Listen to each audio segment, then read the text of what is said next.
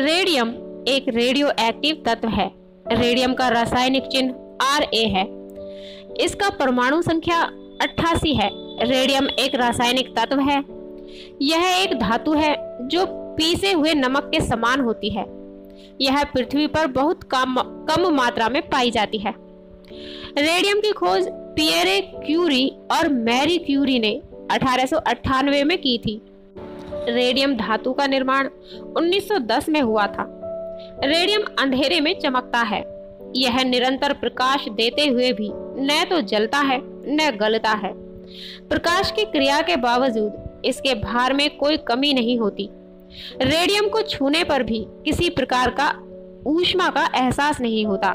Radium गर्म ना होने पर भी सदा चमकता रहता है। वैज्ञानिकों के अनुसार शुद्ध रेडियम से लगभग 1600 वर्ष तक लगातार प्रकाश निकलता रहता है। तत्पश्चात क्षीण होकर लगभग 2000 वर्ष बाद यह शीशे में बदल जाता है। मानव ने अब तक जितने धातुओं का पता लगाया है, उसमें रेडियम सबसे रहस्यमयी है। रेडियम कैंसर जैसे असाध्य रोगों में इलाज के लिए सहायक है।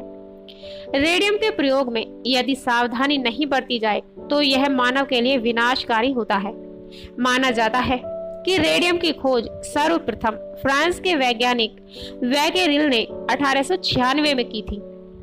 रेडियम का उपयोग घड़ियों, उनके डायलों एवं रिफ्लेक्टर में किया जाता है। रेडियम प्राप्त करने का कार्य अत्यंत श्रमपूर्ण होता है तथा खर्चीला होता है।